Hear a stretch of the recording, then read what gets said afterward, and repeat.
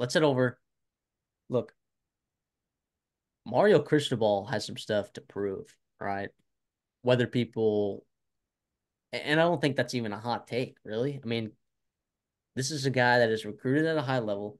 He has the talent in the building. He's shown time and time again that he is not a great in-game head coach. And what better year to prove it than with your most talented team?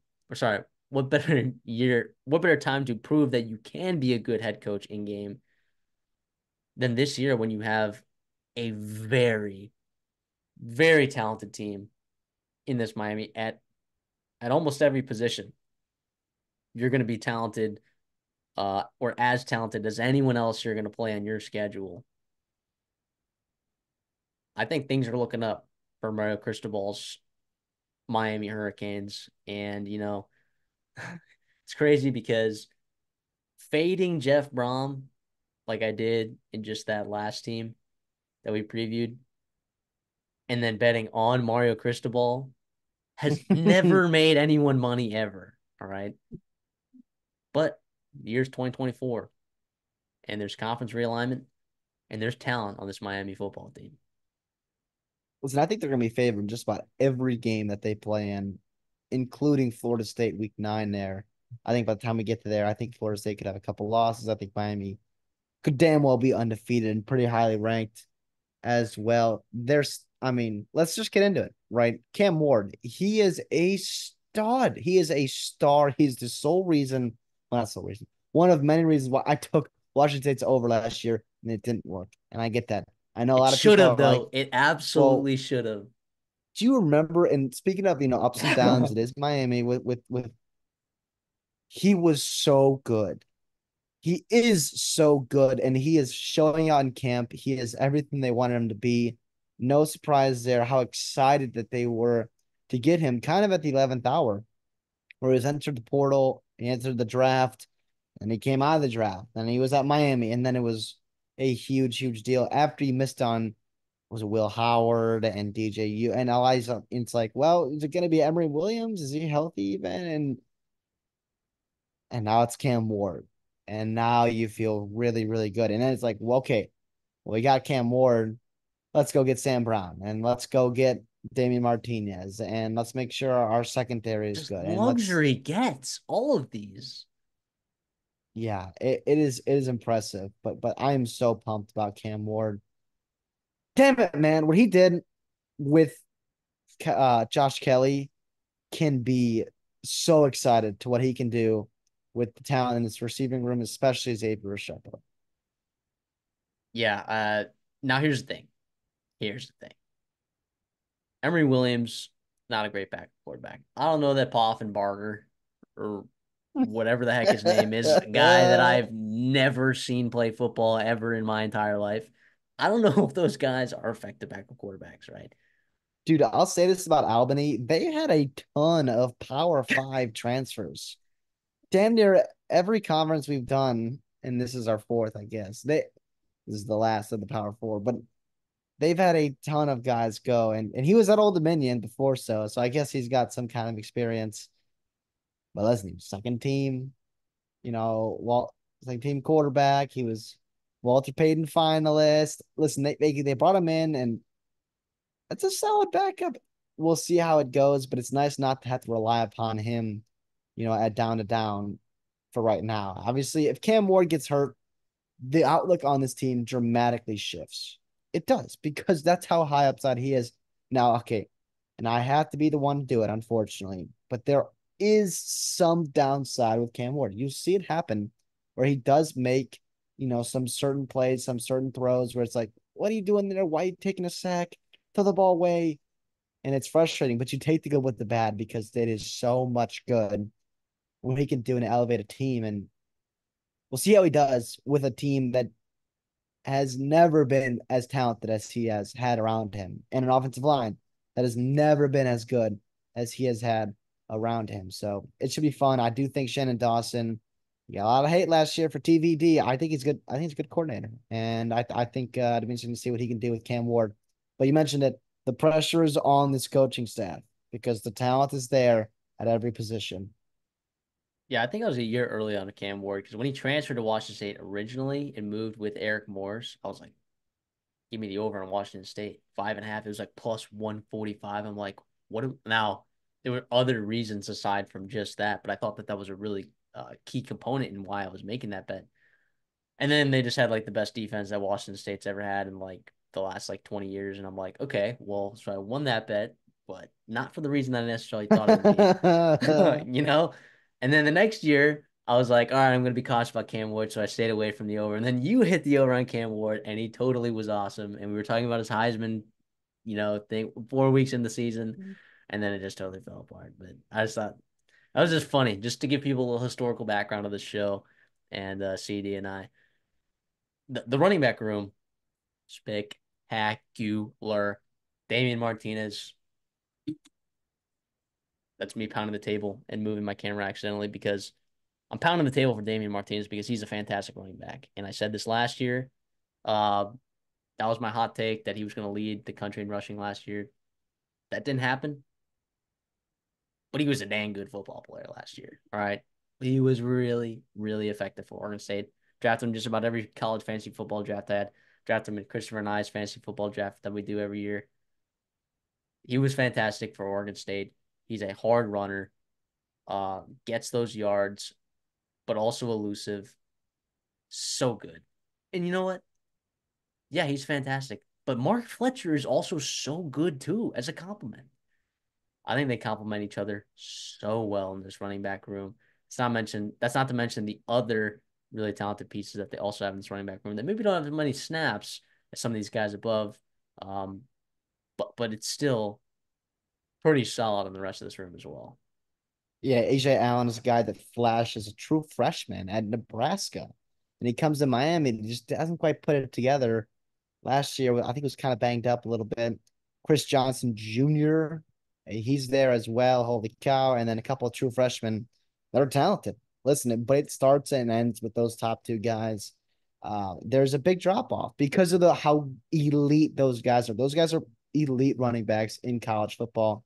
And it's interesting because you're seeing programs at the top half of college. Oh, okay, at the the top top of college football who have just silly money to throw around. They're building elite duos at the running back position. It's kind of interesting. You look at Ohio State there. I mean, Penn State's doing that too. Uh, they they did that to the they did that through their own thing. Georgia kind of brought in Etienne when they didn't really need him to. So it's it's interesting because Martinez, you mentioned the luxury. He kind of was. Because Mark Fletcher was going to be the bell cow this year, and then all of a sudden, it was like, well, we'll get Martinez, and we'll have Fletcher kind of split cares with him as well as a one A, one B type guy, and it's I think it's good for both. I think it's good for the offense. I think it's good for Cam Ward. Honestly, I think it gives you an excuse to run the football because you have two elite running backs who are going to be fresh. And sometimes you can get caught just throwing the football around the yard with Cam Ward, and that's awesome. And you hit take the football out of his hands, but why not if you can give it to Martinez and Fletcher? Great. Well, let's talk about who Cam Ward's going to be throwing it to as well. Xavier Restrepo is so good. All right, he is so good. I know he's like a slot receiver, and he, there's not a ton of elite slot receivers in college football uh, these days, but Xavier Restrepo is one of them. 119 targets, 85 receptions, 1,100 yards, six touchdowns. He was nuts in just about every game that he played. No matter who was playing quarterback, he was always dependable. Yeah. He's a great route runner. He's in the right spots. Redshirt senior, experienced veteran leader. I mean, just checks every single box that you could possibly think of for Xavier Restrepo.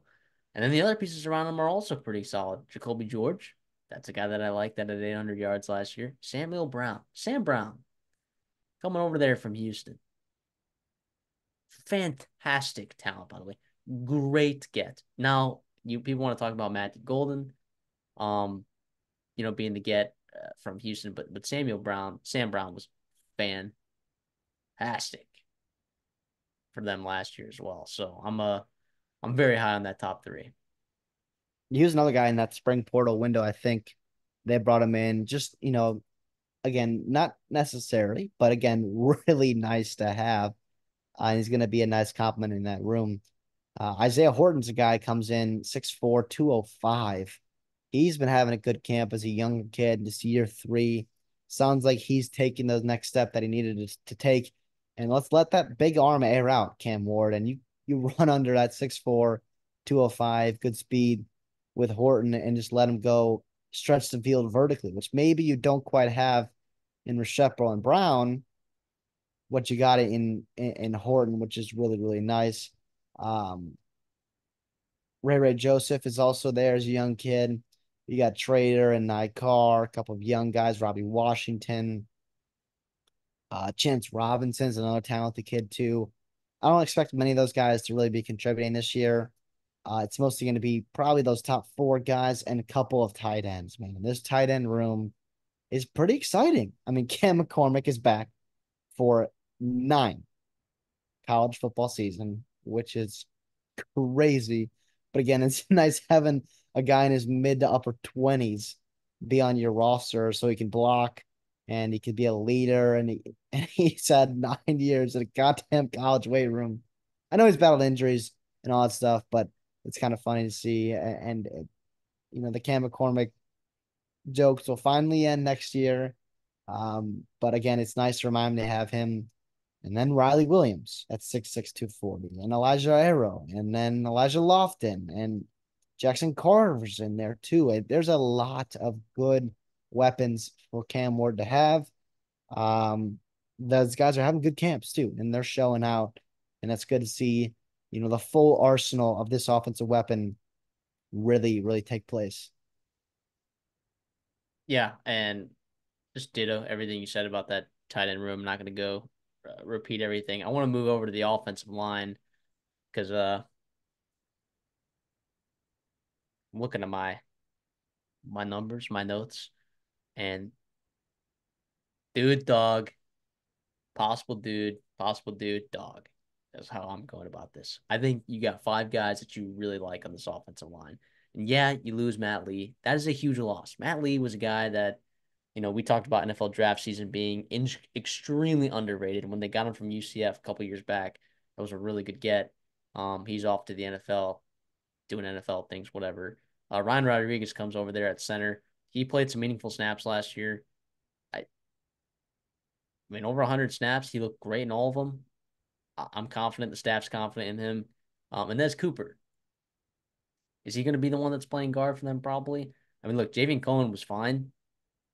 I think he was a little overrated his entire collegiate career. Uh, I say good riddance. I say, I say bring in Cooper. You know, Louis Cristobal.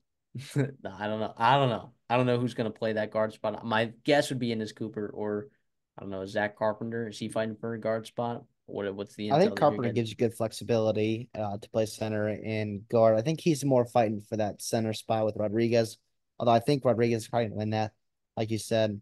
Samson Okunlola, man, former five star kid, recruited as a tackle. He's gonna play guard because you've got two really good tackles in Francis Mauigoa and Jalen Rivers, and Okunlola's got the ability to do that and slide inside. Damn it, man, uh, that's a really nice piece to have. And you're talking about big, impressive, physical, talented offensive line with a lot of experience, underrated. Even though you've got a couple of, you know, year three, year two, year right guys, but that's what snaps. A lot of snaps. And by the way, if there's one position I do trust Cristobal to coach up, and I do expect to have it's gonna be offensive line.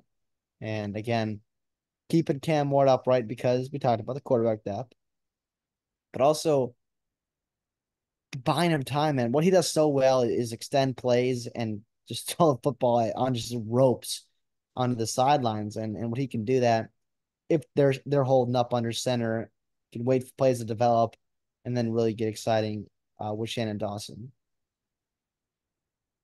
Moving over to the defensive side of the football, I mean the defensive line. I mean it this could be a pretty smelly group, especially in the pass rushing department. When I look at some of these guys that they're going to be throwing out there at edge, I'm looking at Rueben Bain Jr., who was phenomenal last year as a true freshman, nine sacks. Uh, he was unbelievable. Elijah Alston comes over there from Marshall. He's a guy really stinking good at getting to the quarterback. All right, five sacks over there Marshall. Um, all Sun Belt type level player, guy who was highly sought after in the portal. Do not be fooled by the fact that he went to Marshall. Elijah Alston is a severe, will be a, a significant contributor to this defensive uh, front. Tyler Baron coming over there from Tennessee had six sacks of his own. Now, you know, playing opposite of James Pearce, you know, definitely helps with that department. But you're gonna be playing opposite Rueben Bain. Yeah, but exactly. So like this edge group is pretty stupid if you ask me. Uh, you're you're just looking at stuff that's so good. And CJ Clark, just just for gigs, just for giggles, you get CJ Clark in the portal from North Carolina State, who was a very valuable piece, a very valuable one tech in that defense over there for Dave Doeren. Ridiculous. Filthy rich in the transfer portal. Not just like guys, you know, sometimes you're like, oh, this is a need. And it was a need for Miami to some degree. Absolutely. But you didn't just get guys who were good. You get guys who were great and guys who were very proven at their respective positions and guys that are going to have immediate impacts on this defense. Um, getting pass rushers in the transfer portal, like at this level, is pretty rare. Getting an interior player like CJ Clark in the portal is rare. A plus job by this staff acquiring these defensive line transfers. A plus.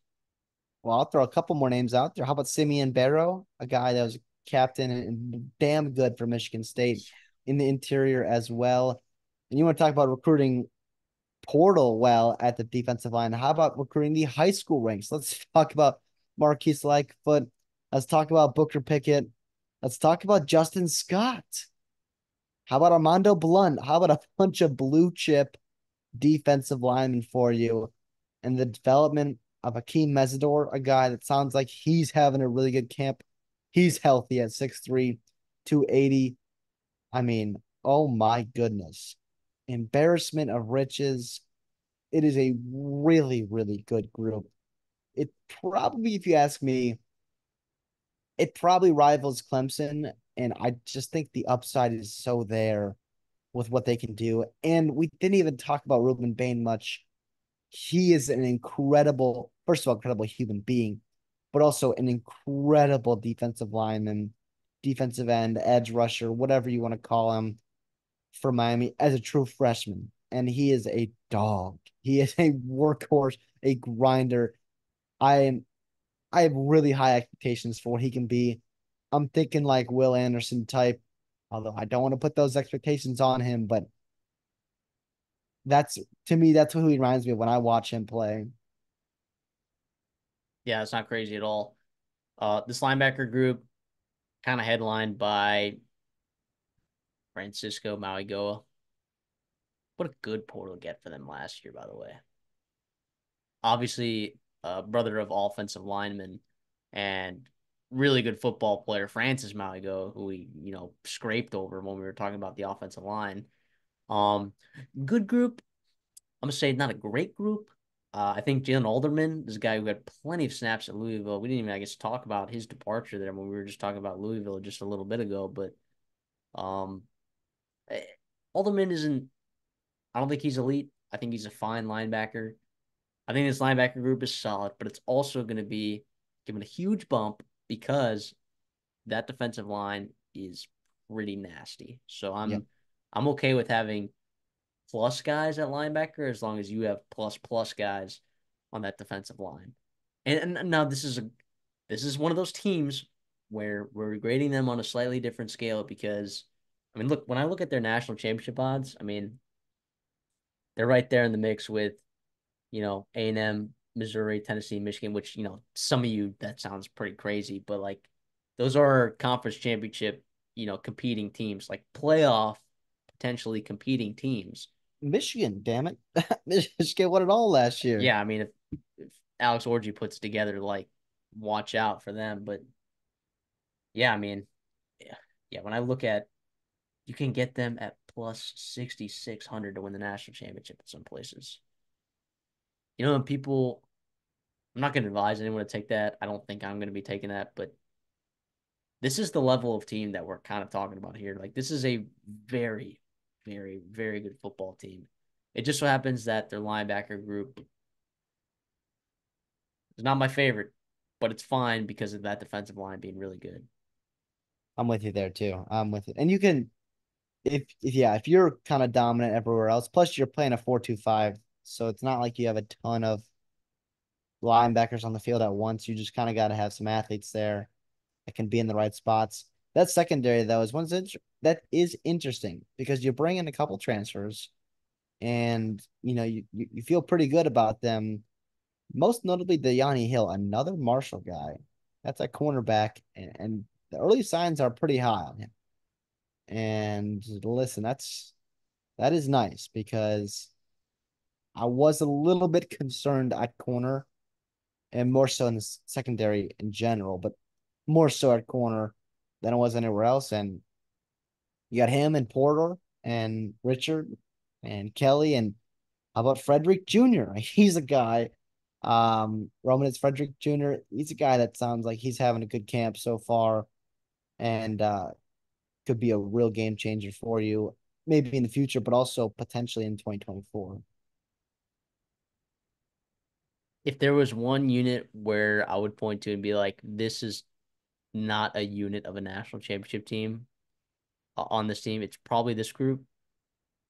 I think Elijah Alston's skills transfer differently than Deani Hill's uh, skills at corner. I, I think it's a much harder transition to play cornerback at a power five level uh, after I don't know. I I could be wrong. I could be wrong but I've seen a lot of success stories of really successful pass rushers at the G5 level come up and be also effective pass rushers at the Power 5 level.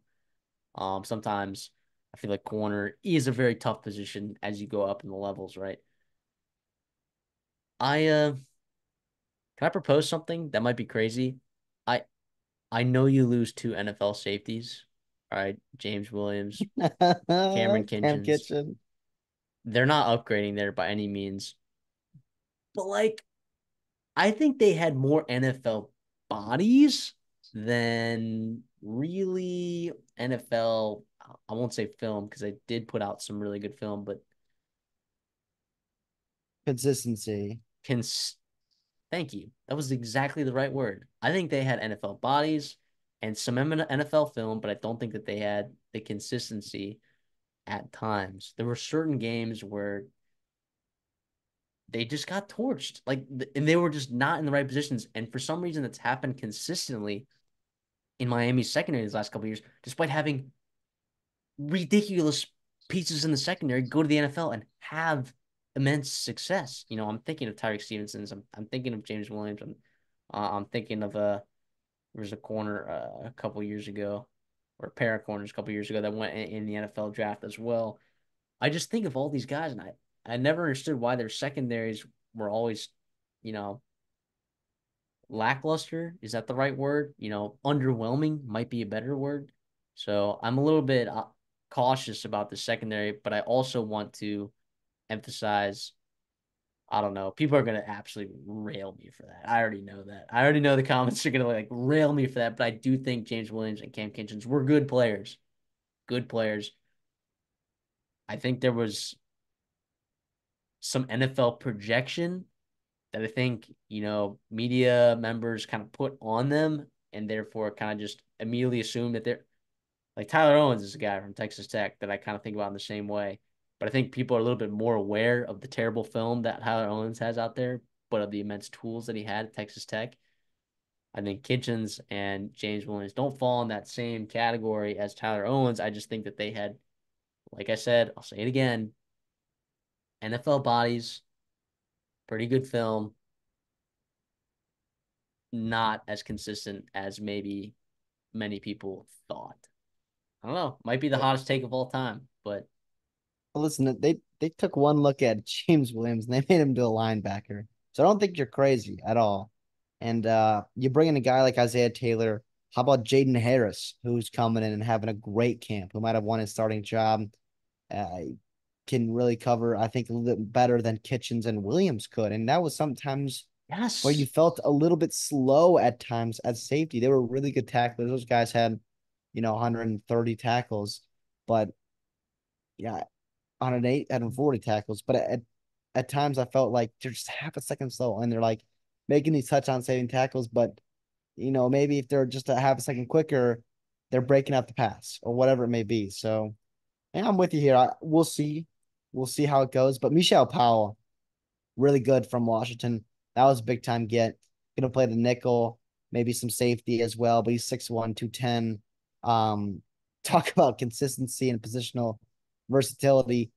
That that's him right there. He can do it all for you back there. Be a leader in your group. Uh, trying to me- mesh together some new faces and some new pieces. Yeah, absolutely. Looking at the schedule, okay. I project Miami to be a really good football team this year. Okay. When we look at their schedule, I think going to Florida week one is really tough. Reminder, by the way, though, they could still lose that game and win the ACC, I think. Yep. Well, absolutely. Flashback to two years ago. There was a week one matchup in Gainesville, you know, against a Florida team that underwhelmed a little bit. Utah traveled over there to Gainesville. Yep. They lose to Florida in Gainesville, and then they ended up winning the Pac 12 right? Just because you lose in Gainesville week one does not mean you're a bad football team at all. And I can't wait for the market to overreact and just pound Miami in some games down the road. They play Florida week one at home, or sorry, on the road. Florida A&M at home week two, Ball State at home week three, South Florida on the road at week four, Virginia Tech at home week five, Cal on the road week six, week seven's a bye, week eight you get Louisville on the road, Florida State at home week nine, Duke week 10 at home, Georgia Tech on the road week 11. You get a bye, then Wake Forest, then Syracuse to end the season on the road. Um, so you're telling me their two toughest conference games this year are at both at home. Their win total is at nine. Yeah, pounding the over. Absolutely taking that one to the counter. Uh, I think you could lose to Florida and still go ten and two. Um, I think you could you could lose to Florida and Florida State, and and finish ten and two. You know, like just they would be so pissed though. yeah, they would. Oh, and two to the state of Florida. Well, I guess one and two with Florida and M, but no, but or two and two is South Florida. But yeah, I, oh, I really yeah. like I like the dynamics of the schedule. I like where their buys are. Um, I think it's nice having that bye in between that stretch. It's kind of an underrated stretch where they have to play Louisville, Florida State, not Duke, but then Georgia Tech. Two of those games being on the road. Um, yeah, I think uh, if they beat Florida in that Week One game, I think they're going to win out. Although, and I know Virginia Tech is a tough game, but I think getting them at home, more so not getting them in Blacksburg, I think is a big deal.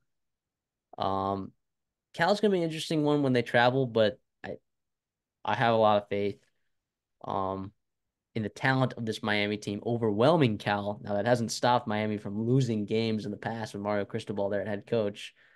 um, but I, I just, at some point, okay, at some point, you have a team that is overwhelmingly talented with no, now this is an outsider's perspective, perspective, no visible cultural issues, right? Like you had at some other schools that, you know, didn't achieve what their recruiting rankings said that they were going to achieve.